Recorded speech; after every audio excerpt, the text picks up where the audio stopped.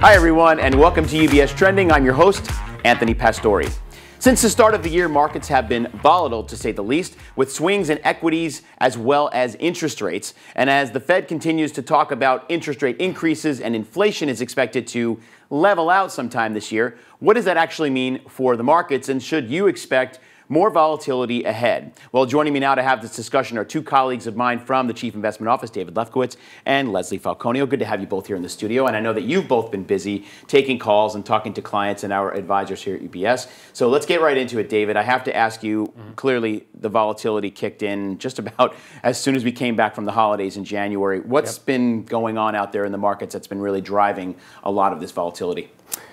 Yeah, Anthony, I, I mean, I think this is all about the Fed right? I mean, we're seeing a, a pretty big pivot in terms of Fed policy from one of being stimulative and, in, and injecting tons of liquidity into the economy and, and into the financial markets.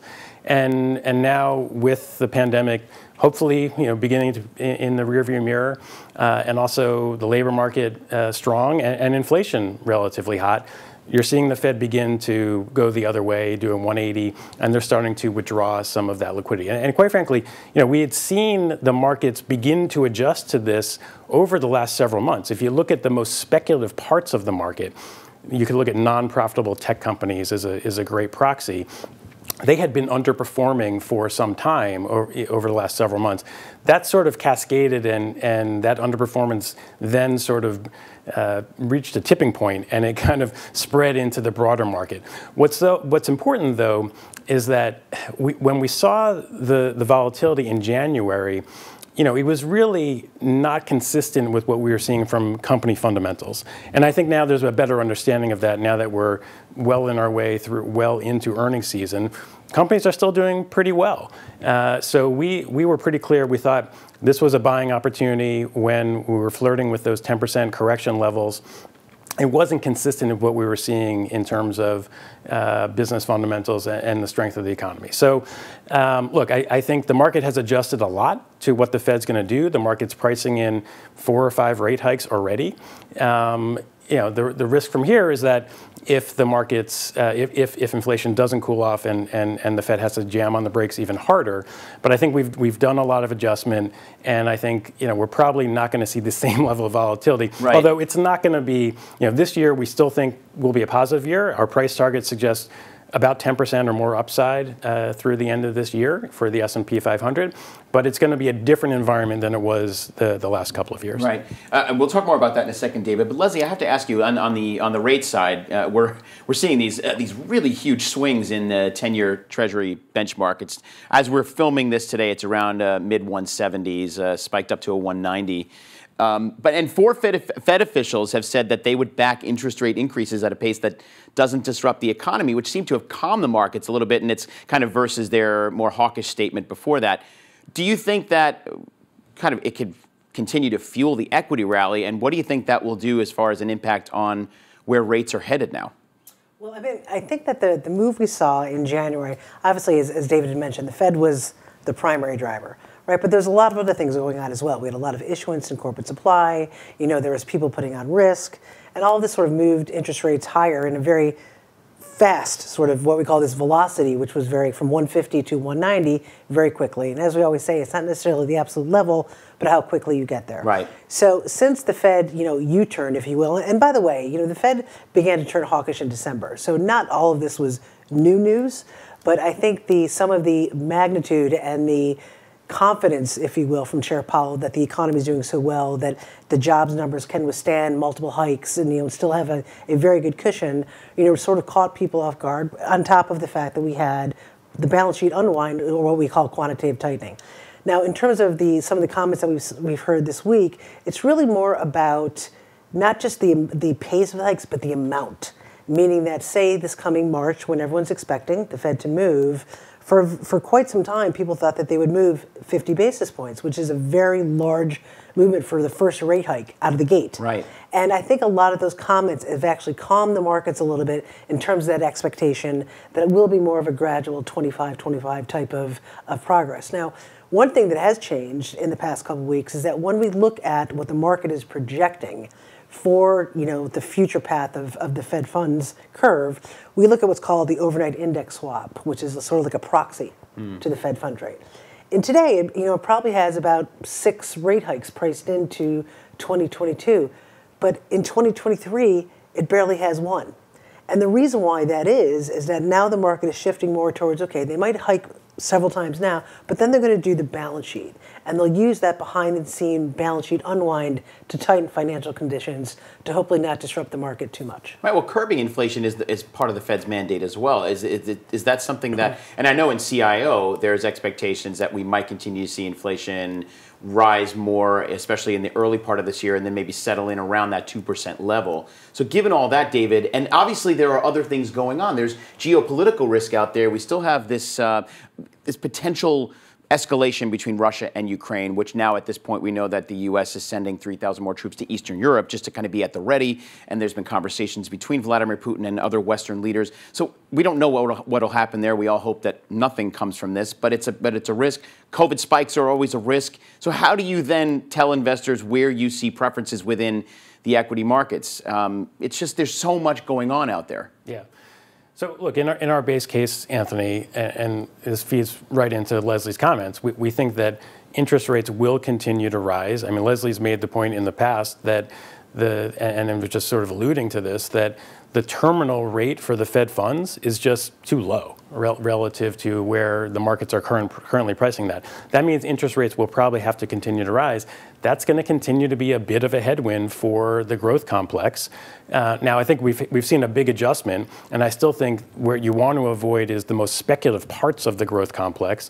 Uh, but in general, it's going to be a headwind for growth as interest rates rise. And then on the flip side, it's actually a, a, a positive driver for, for value companies. If you think about big components of the value benchmark, financials, right? So financials are going to be beneficiaries of rising interest rates, both long-term interest rates as well as when the Fed starts to raise the, the, the Fed funds rate. Uh, we also like energy companies, um, oil prices, the, the oil price that's embedded into the energy sector right now seems pretty low relative to what we think it can get to. It's probably only in the, in the low 60s. Spot prices are, are much higher than that. So I, I, still think it makes sense to have a value bias and a, and a, bit of a cyclical bias in portfolios, uh, you know, really predicated on the fact that we still are we still have more to go in this normalization process in terms of Fed policy and interest rates. Okay, and you know, and Leslie, you know, in the recent January edition of the Fixed Income Strategist that you helm, you discussed continued challenges to the markets, obviously for the rest of this year, and you said you expect higher interest rates, increased volatility, and declining liquidity as the Fed tightens monetary policy. Where does that leave fixed income investors? All of what you just said just happened in one month. Isn't that? That's right. Is, you must have had a crystal ball, right? That's right. you know, I think I think that's no, I think that's really important though because when we think about how we enter the year, when where we enter the year, from the fixed income perspective, spreads are very tight. I mean, as David mentioned, um, you know, in, in, his first comments, we've had a lot of accommodation, mm-hmm. and both fiscal and monetary, and because of that, we have spreads compress. Of course, I mean, we've, we've had a lot of people going into that quest for yield as interest rates have stayed fairly low for about, you know, since March of 2020. So it's, it's expected to have this kind of volatility going forward. And having sort of a healthy correction within some of these, what we call risk assets, where spreads widen out a little bit, but while maintained fundamentally sound, which I mean, which I mean by healthy corporate balance sheets, low defaults, high recoveries, is actually a benefit to investors. And that's the kind of thing that they should look for. And when it comes to the interest rate side, we do think interest rates will rise. But you know, investors have a tendency just to look to the, at the previous year, right? And they don't look at history. Historically, interest rates are still very low. And now that we moved to that 1.9, as you mentioned earlier, those are levels that we saw in you know the winter of 2019. These aren't the three and a quarters that we saw in 2018. So you're just starting to normalize. And the more you normalize, the headwind of rising rates becomes less of an impact to your total return, so a negative impact to your total return. And it's our view that yes, rates will rise, and you know what? You might even see it 225. I was going to say we may not see it three and a quarter no, for a while. You absolutely. You never want to say never. No, I put a low of course, probability. of course. I put a very low probability on it. But I mean, especially when we think about the, the right now with the Fed's sort of path in terms of the balance sheet versus rate hikes. But I mean, as we look in terms of what we think going forward, it's going to be this. You could see 225, you could see 230. This is not a catalyst. And more than likely, you will trend higher the first half. Interest rates will come down the second half of the year, but it's not going to be this really sort of strong headwind. And the reason why I was joking about January is because, like we said, it's it's the velocity, right? Right. We just got there very quickly, but a, but a lot of, but a lot of information came out in a very short period of time. It's been an active month for sure. Uh, do you think investors should get used to this kind of volatility? Is this something that we should be kind of buckling down for? On the interest rate side, I think you're going to have a lot of volatility, and just from what you mentioned before, it's not it's not only going to be from the the Fed, but it is, there's the ECB mm-hmm. and you know the Bank of China. There's geopolitical risks. Of course. There's there's a lot of things that are sort of you know normalizing. So you're going to see volatility, David, which is not necessarily bad thing. And on the equity side, I mean, volatility reigns supreme these days. Yeah, I, I think Even though, as you said, the fundamentals look pretty strong. Right. I, I think that's that's the perfect way to phrase it. I think there's going to constantly be this kind of tug of war between what the Fed is doing and then the business fundamentals. I, I don't think that that that that dynamic is going to change, and that's going to lead to.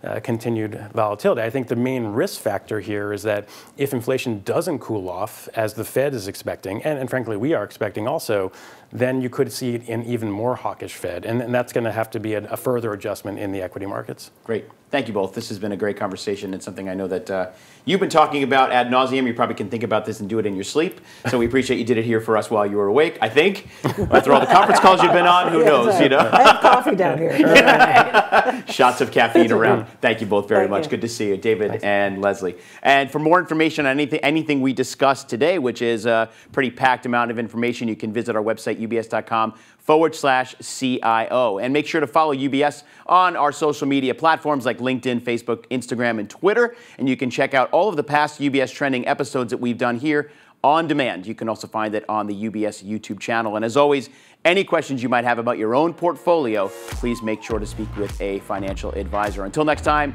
I'm Anthony Pastore. Have a great day, everybody, and remember to keep your eyes on what's trending. We'll see you soon.